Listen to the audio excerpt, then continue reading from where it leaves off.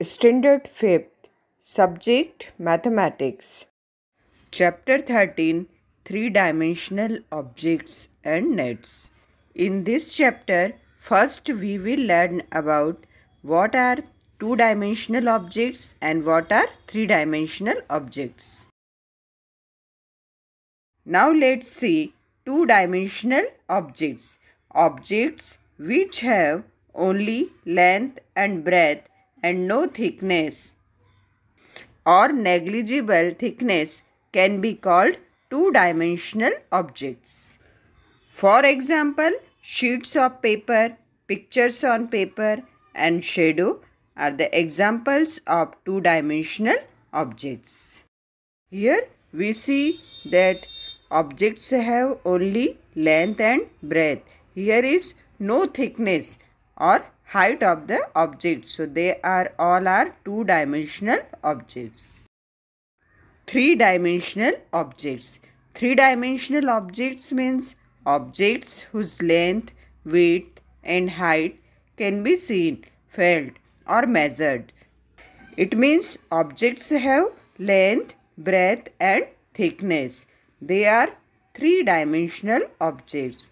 For example, books, glasses, and tables are some three-dimensional objects.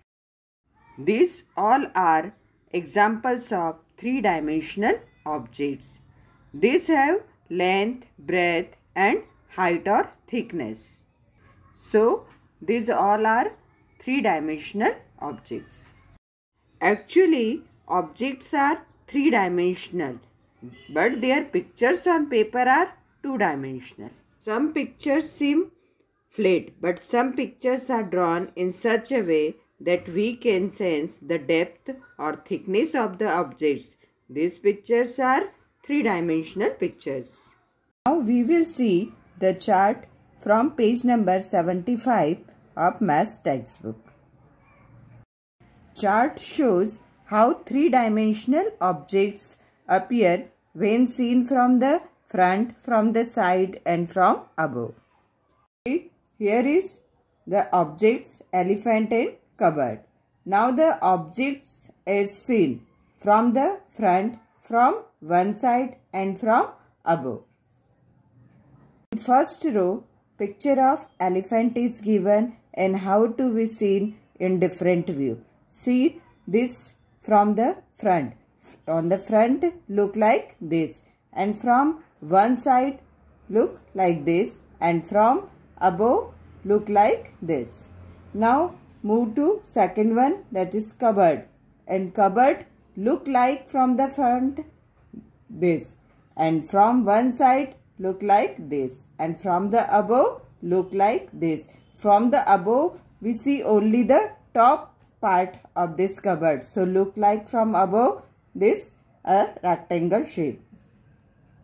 Let's see problem 851. Question number 1. The first column shows a structure made of blocks. The other columns show different views of the structure in two dimensions. Say whether each view is from the front, from a side or from above. Now we can tell which view we can see from the front, from a side or from above.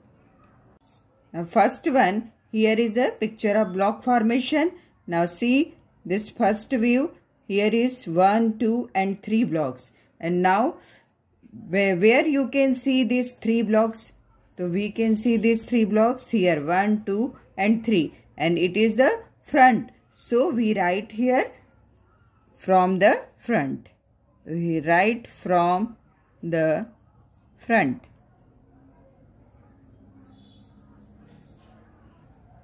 Now see here is only one block and where you can see this one block, this one block it is in side. So we write here in a side. So write here from a side. Now see here. Here 1, 2 and 3 blocks are shown Now where you can see these three blocks in this figure, it is in front and above. And in front we already written, so we write here from above.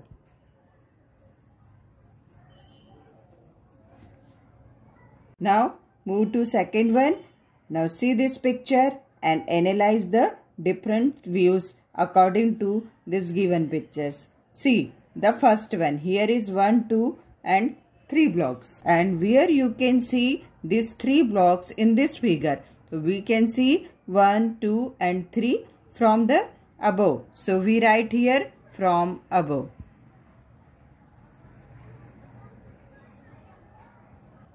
Now where you can see these two blocks, these two blocks we see from this side. So we write here from a side.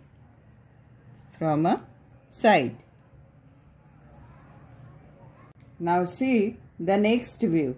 Now where you see, you see this view on this figure, you see here this one, one, two, three, and 4 blocks. See here one, two, three, and 4 blocks we can see from the front. So we write here from the front.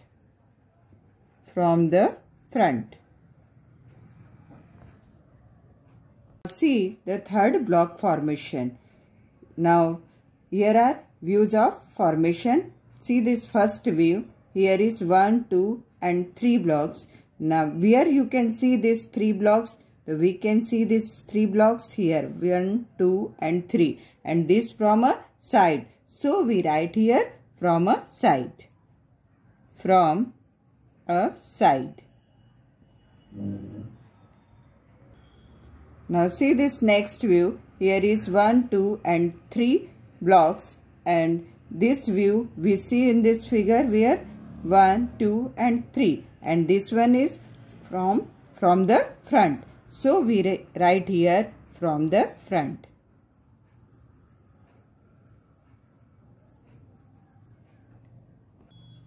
Now the next here is 1, 2, 3 and 4 blocks. And where you can see these 4 blocks.